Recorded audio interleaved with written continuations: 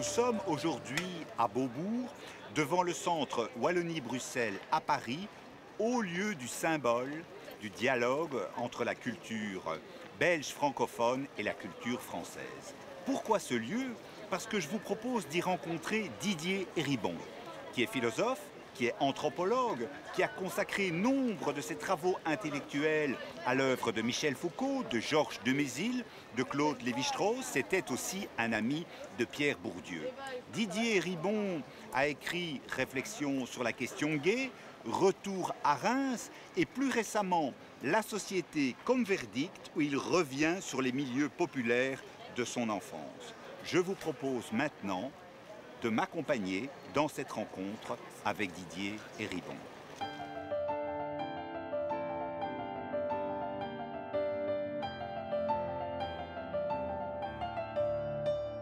Didier Ribon, vous réfléchissez à votre parcours et vous posez une question dès les premières pages de votre livre que je me permets de vous poser. Pourquoi revient-on vers ce que l'on avait tant voulu fuir? Quand mon père est mort, euh, je me suis posé la question pourquoi j'avais fui mon milieu, euh, le monde de mon enfance, de mon adolescence. C'est un milieu très ouvrier. J'étais le premier de ma famille à faire des études supérieures. Je m'étais installé à Paris et j'avais vécu dans un tout autre monde. Et là, j'avais rompu plus ou moins, euh, je ne dis pas totalement, mais presque avec ma, famille. J'avais mis ce monde à distance de moi parce que c'était nécessaire pour moi pour, pour, devenir autre chose, pour devenir, si on peut dire, ce que je suis devenu. Et quand mon père est mort, je me suis euh, euh, interrogé sur les raisons pour lesquelles j'avais euh, mis ce monde à distance, toutes les, toutes les bonnes raisons que je m'étais données, peut-être euh, affronter directement la, vraie réponse, une des vraies réponses qui aurait été que euh, j'avais fui ce monde ouvrier parce que c'était un monde ouvrier et il y avait donc dans, mon, dans le geste de fuite se jouait quelque chose des rapports de classe, la violence de classe, des rapports de classe dans la société française, pas seulement française bien sûr, mais en tout cas c'est c'est là que je, vivais. Et par conséquent, j'ai voulu m'interroger à partir de mon itinéraire personnel sur euh, l'histoire des classes sociales, euh, à partir de l'histoire de ma famille et la, persistance, la permanence aujourd'hui des, des, classes sociales dans la société française. Et donc c'est aussi une interrogation sur qu'est-ce que c'est qu'être de gauche, euh, essayer de, de, repenser la pensée de gauche, euh, qu'est-ce qu'on peut dire de la pensée de gauche aujourd'hui, euh, puisqu'en France beaucoup de gens avaient dit les classes sociales n'existent plus, il y a une vaste classe moyenne, etc. Et je voulais montrer que tout ça c'était des mythologies et que les classes existaient toujours et que euh, n'avaient pas disparu, même si elles avaient disparu des discours des partis de gauche et de la pensée de gauche en France, et qu'il fallait leur redonner une place si on voulait comprendre un certain nombre de processus qui se déroulaient en ce moment, et notamment comment une partie de, des classes populaires avait cessé de voter à gauche pour voter parfois à droite, mais même souvent à l'extrême droite, comme ça a été le cas dans une partie de euh, ma famille. Donc c'était cette interrogation-là qui était à la fois sociologique, politique, philosophique, théorique euh, et personnelle, existentielle. J'ai voulu mêler tous ces éléments dans ce livre, euh, Retour à Reims, qui était un livre que j'adressais au fond à quelques amis et euh, le nombre des amis s'est trouvé démultiplié à la sortie du livre, puisque c'est un livre qui a rencontré un, écho assez considérable auquel je ne m'attendais pas du tout, avec beaucoup de des flux de courriers qui m'arrivaient euh, comme ça jour après jour, euh, et ça continue, de, de gens qui m'écrivent pour me dire c'est mon histoire que vous racontez, ou vous m'avez permis de comprendre mon, histoire et beaucoup, d'éléments de ma vie et de, de mon rapport aux autres. Et donc, une des questions, voilà, c'est pourquoi, revient-on? La vraie question, c'est pourquoi est-on parti? Pourquoi a-t-on fui son milieu? Qu'est-ce que c'est que l'obligation qu'on se sent de revenir dans son milieu, dans son passé? Ce qui veut dire que le passé, ce qu'on croit avoir mis à distance, c'est toujours le présent. Et j'ai voulu faire une réflexion sur comment le passé social, le passé de classe, le rapport à son adolescence reste inscrit dans le présent et comment euh, tout ce que l'on fait, tous les choix que l'on peut faire sont en grande partie je ne dirais pas déterminé euh, strictement, euh, rigoureusement par le, passé, l'enfance et l'adolescence, mais, malgré tout fortement marqué par le, les traces de ce passé gravées dans le, corps, dans la mémoire, dans le cerveau.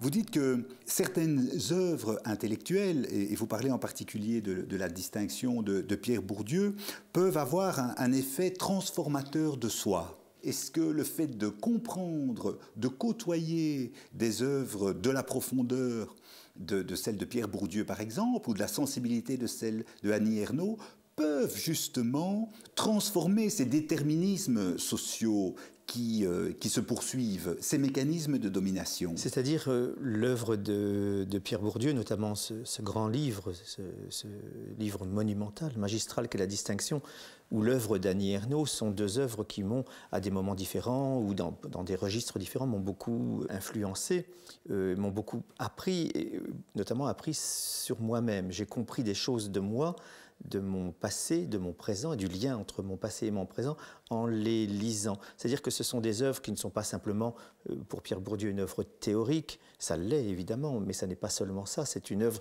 dans laquelle il a mis beaucoup de lui-même, et en mettant beaucoup de lui-même, il rencontre euh, dans les lecteurs non pas un assentiment théorique, mais une sorte de, d'assentiment presque existentiel. On est, on est touché par, les livres de Bourdieu sur le système scolaire ou euh, sur les classes sociales, ou dans le registre littéraire par euh, les livres d'Annie Ernaux que sont La place, euh, Une femme, La honte, qui sont sur, sa, famille, sur son père et sa mère. Ce sont ce que j'appelle des œuvres généreuses, c'est-à-dire qu'elles exercent des effets de générosité puisqu'elles exercent des effets de transformation de soi-même. Quand on les lit, on se comprend et donc on peut travailler sur soi-même pour se transformer. Mais la transformation n'est jamais complète. Ça, a des effets d'émancipation, bien sûr, puisqu'on comprend les déterminismes euh, dans lesquels on est pris.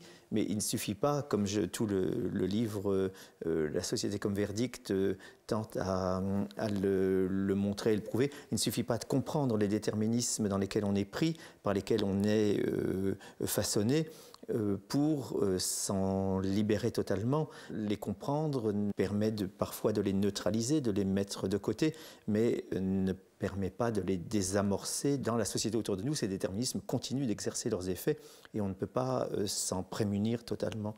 un des autres livres qui a été très important pour moi, c'est le livre de Sartre. J'allais en parler. son livre sur Jean Genet, Saint Genet.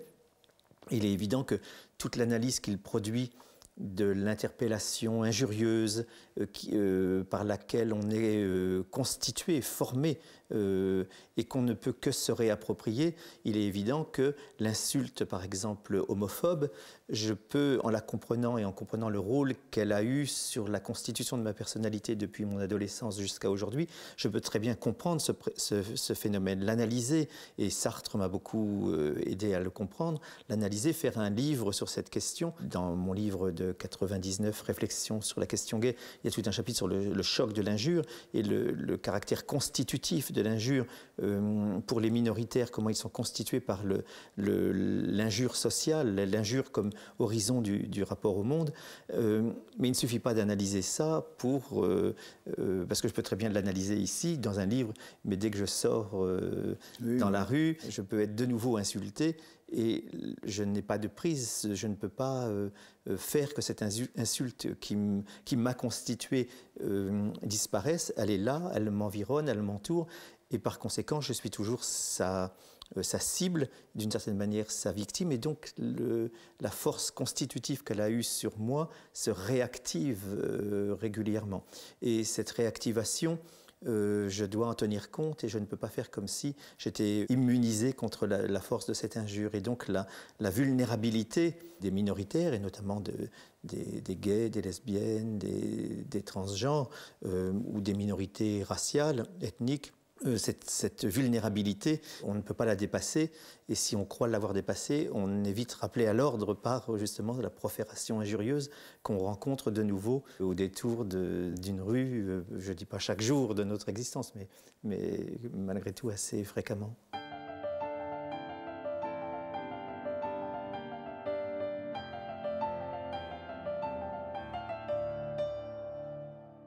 Et un petit peu comme euh, Annie Ernaux a été fort euh, influencée par euh, Simone de Beauvoir, et vous l'expliquez très bien dans votre livre.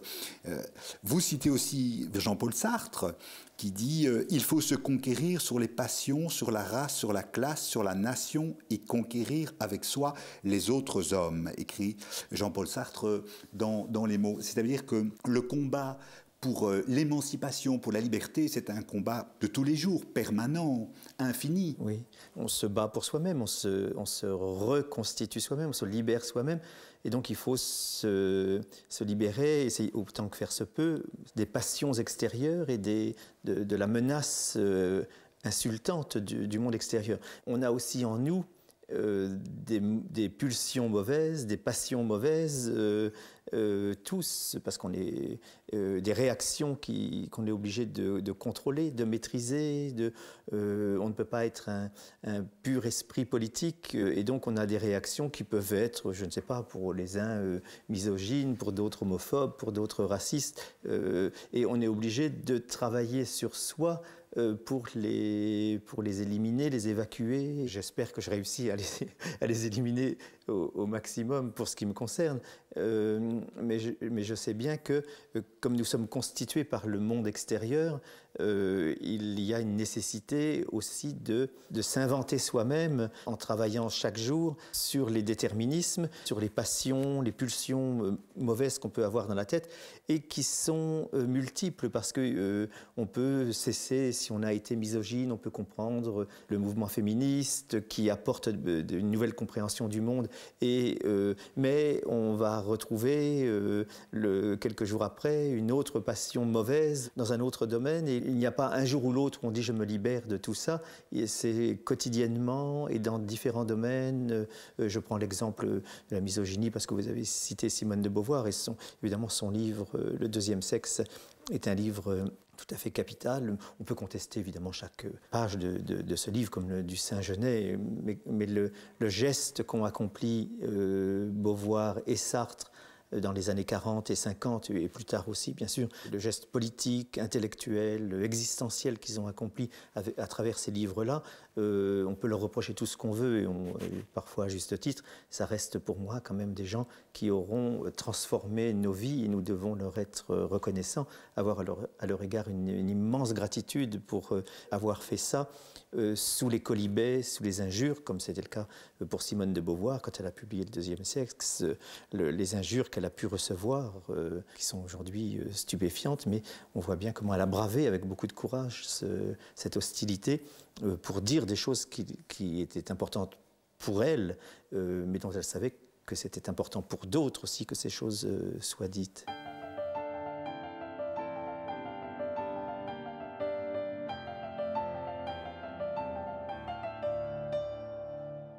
Vous parlez aussi en explicitant le, travail de Asia Djebar, de l'exercice de l'autobiographie, dites-vous, dans la langue de l'adversaire d'hier. C'est-à-dire, est-ce qu'il n'y a pas un, paradoxe à essayer l'émancipation dans, dans, les codes, je dirais, du, du, système, je parle de manière caricaturale et simpliste, du système de domination, que l'on combat? oui. Assia Djebar, qui est donc cette euh, romancière euh, algérienne que, dont j'aime beaucoup les livres, enfin en tout cas certains livres, euh, pose cette question puisqu'elle écrit en français pour rendre la mémoire de son dans la langue du, colonisateur, pour rendre la mémoire à son peuple martyrisé, colonisé, massacré pendant plus d'un siècle elle écrit une autobiographie, elle écrit des romans et elle écrit en français. Elle rend une voix aux colonisés dans la langue du colonisateur. Elle a conscience du problème, c'est elle qui pose le problème.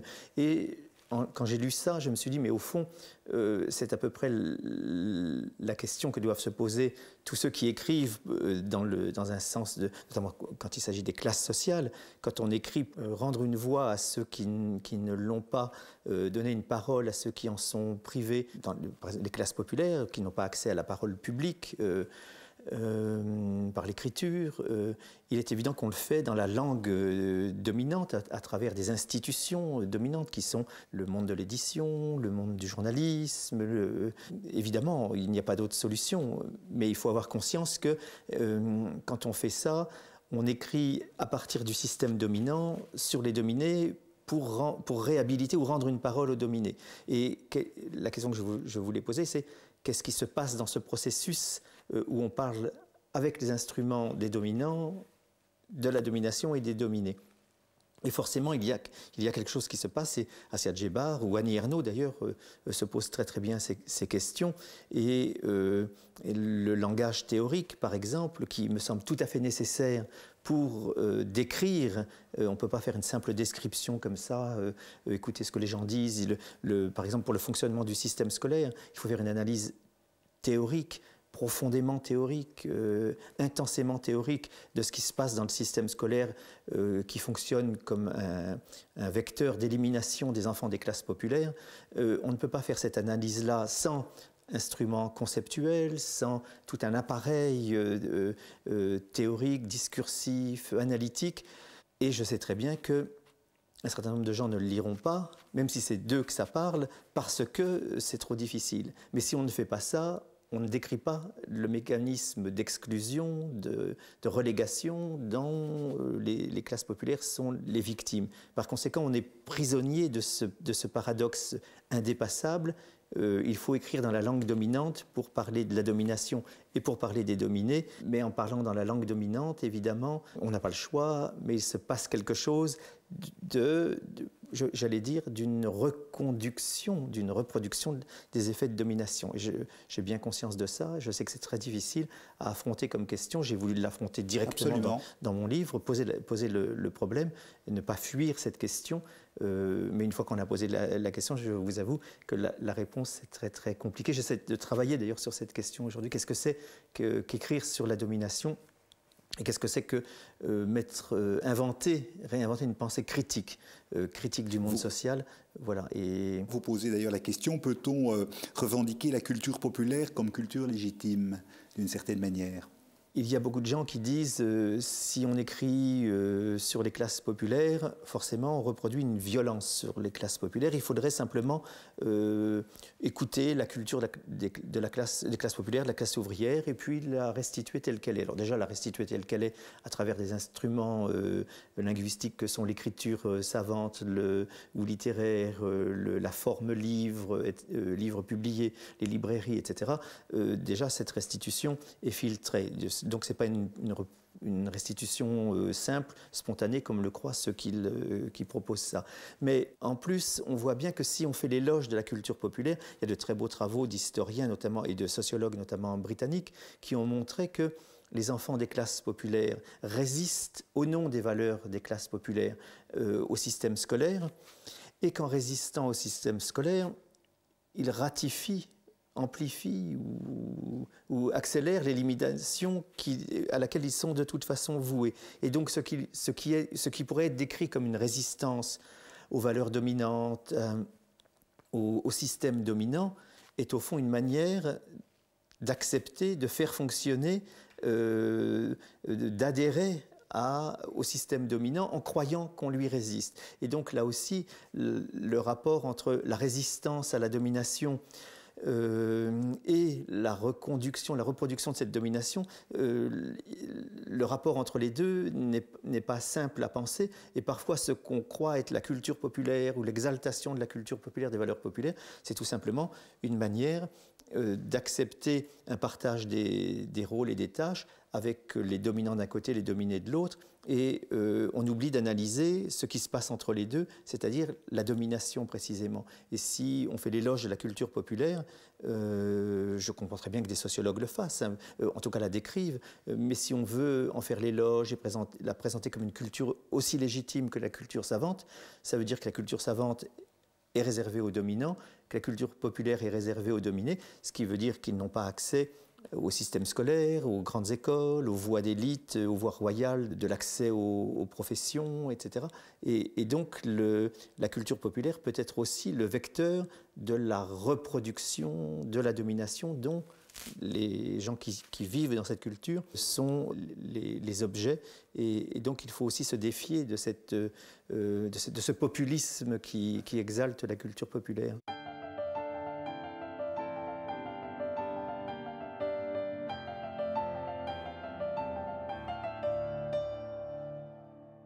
vous avez euh, à certains moments des mots très rudes pour la classe ouvrière, ou euh, vous dites par exemple que le, crédit désamorce les luttes ouvrières, que l'objectif aujourd'hui du entre guillemets l'ouvrier, ce n'est plus de faire de la révolution, c'est plus faire la révolution, mais c'est construire un pavillon. Je sais que je caricature. non, mais c'est ça, mais je, je, ne juge pas. Moi, je j'ai vécu enfant euh, dans le milieu ouvrier, euh, euh, fait de, de privations, de difficultés de boucler les fins de mois, d'être dépossédé de l'accès à un certain bien de consommation. Et je comprends très très bien que des gens qui ont, qui ont vécu dans cette dépossession de l'accès aux biens de consommation aient envie de pouvoir y accéder comme tout le monde, comme euh, on disait dans ma famille, euh, on travaille dur, on a bien le droit d'avoir aussi une voiture, une télévision, etc. Et ce qui m'a frappé dans mon, dans, mon dans mon enfance ou dans mon adolescence, c'est comment j'entendais autour de moi tout le monde, dans ma famille ou dans les proches de mes parents, disaient on fait construire. Donc on fait construire un pavillon, c'est-à-dire on s'endette euh, on prend des crédits sur 25, 30 ans, etc. C'est-à-dire qu'on ne peut plus faire grève, parce que sinon on ne peut plus payer les traites du mensuel du crédit. Et je ne condamne évidemment pas, je ne dénonce pas les, gens qui veulent faire construire un pavillon. J'analyse simplement comment les transformations euh, de la classe ouvrière, du mouvement ouvrier et comment dire, un certain délitement de ce qu'on appelait le mouvement ouvrier est lié à cet accès aux biens de consommation qui passe par le crédit accordé par des banques, parce que si on est endetté par le moyen du crédit, on ne peut plus euh, entrer dans, des, dans, des, luttes, ou en tout cas dans des luttes euh, qui durent. Et c'est toujours quelque chose de, très très fort quand une grève euh, dure. On voit très bien, les hommes font grève, mais les femmes disent mais comment on va payer Il y a le film sur la grève des LIP en 1973-74 le montre très bien. Les, femmes des grévistes disent mais comment on va payer, comment on va vivre, comment, je peux acheter la nourriture avec ce partage des rôles hommes-femmes.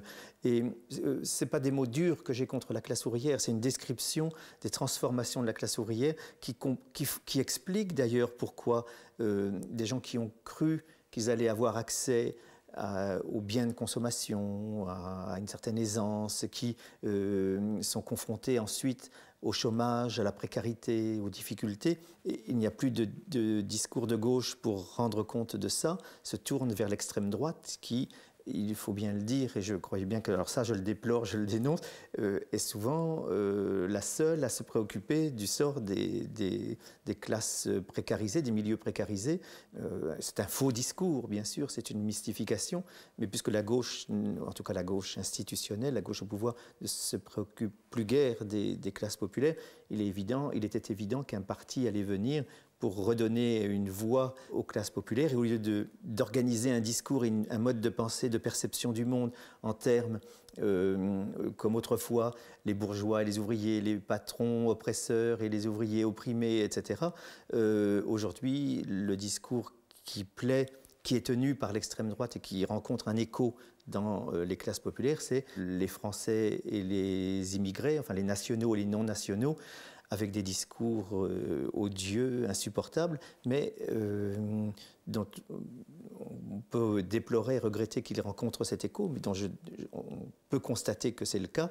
Et puisqu'on le constate, il faut essayer de l'expliquer. Donc, euh, à la fois Retour à Reims et la société comme verdict sont des, tentatives, en tout cas dans certains de leurs chapitres, pour euh, rendre compte de ces, de ces phénomènes qui se sont développés sur une, une cinquantaine d'années. On ne peut pas les comprendre justement si on n'analyse pas tout ça. Le, euh, le, crédit, ça peut sembler quelque chose d'anecdotique, le crédit, mais, euh, mais, beaucoup de choses du monde contemporain, de la situation actuelle en France, j'imagine en Angleterre, en Belgique, en Espagne, bien sûr, en Italie, beaucoup de choses de, de, la situation dans, dans, dans tous ces pays s'explique euh, par des phénomènes qui sont liés aux transformations que le système de crédit a permises et euh, aux conséquences de ces transformations.